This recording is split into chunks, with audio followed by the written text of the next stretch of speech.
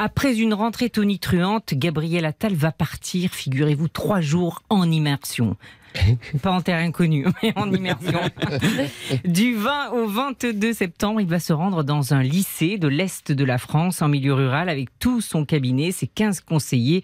Et chacun va discuter avec son binôme. Alors, la conseillère sociale va s'entretenir avec les syndicats. Le conseiller harcèlement, qui est d'ailleurs un juge pour enfants, va rencontrer le référent harcèlement du lycée, etc.